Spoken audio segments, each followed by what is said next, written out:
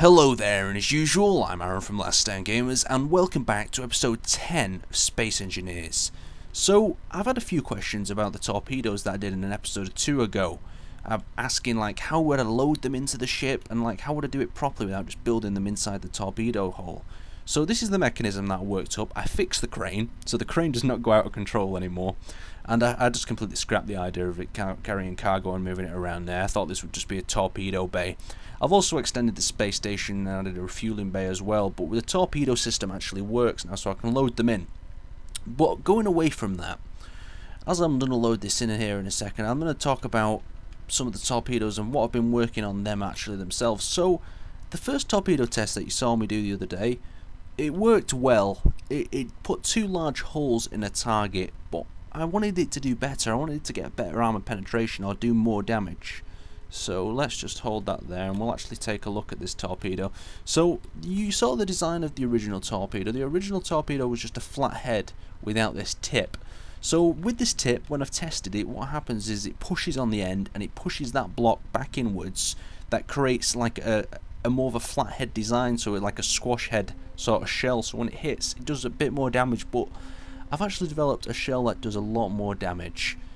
And to actually use these shells, I decided to build a new ship. And there it is. That is going to be the new ship for firing my new armored penetrating torpedoes. torpedoes? Torpedoes, yes. That are going to be basically fired from here. So the name of it is the Broadsword. I do apologise for the actual camouflage or paint job that's on it at the moment. I'm going to actually ask, have to ask you. I was thinking about doing some stripy patterns down it, like turn it all black and then do stripes of yellow or maybe stripes of blue. I'm not too sure. You'll have to tell me in the comments below. But I'll show you the new torpedo design. I've built two torpedoes in this. We've got a standard and we've got like a squash head sort of flat impact round. So up here, we've got a standard torpedo. But what I've done here is I've made it a lot sharper at the front. Instead of the block design of the original one that was a lot bigger, it's sharper. But it's also got these wings here. Basically, when these wings clip when this front end break, it breaks off this back part as well and causes even more damage. You'll see it.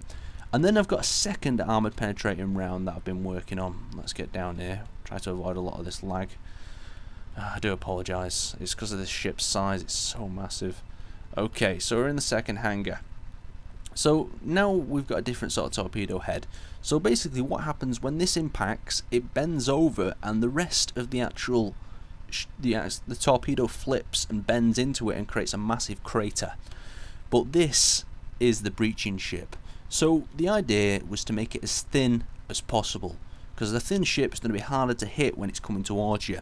I don't know if you've seen reactive armour on tanks and stuff and like um, that sort of fencing that they put around the vehicles these days but basically these pylons are acting like that so these can catch an incoming missile round or something and block it from actually getting to the core centre of the ship and in here is actually the breaching area. So once you've launched your torpedoes, one of your torpedoes is impacted, you use this to breach. So I'm going to show you the new torpedoes today and I'm going to show you the ship. So it's a very high speed, high performance ship. The interior is not done yet, but it's going to be able to store a lot of infantry equipment and it's to have crew quarters and finally some extra hangars.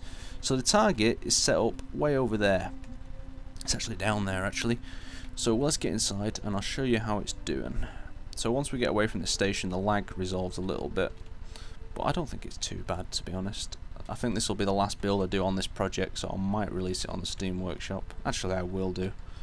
So you can have a go with some torpedoes yourself.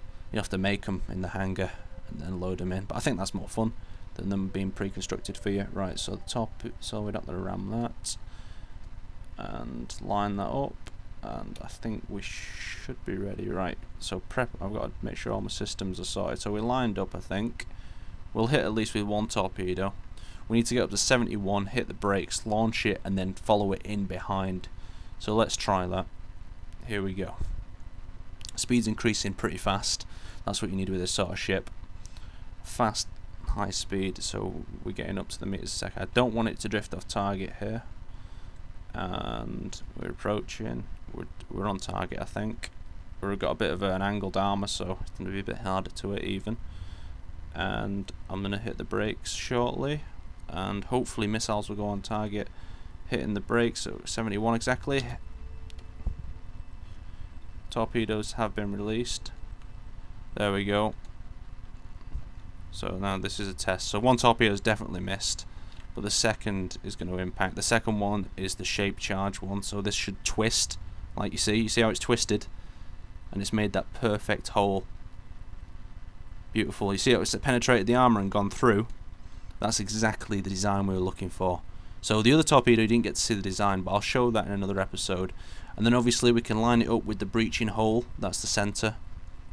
So just power towards it. Breaching hole in the ready.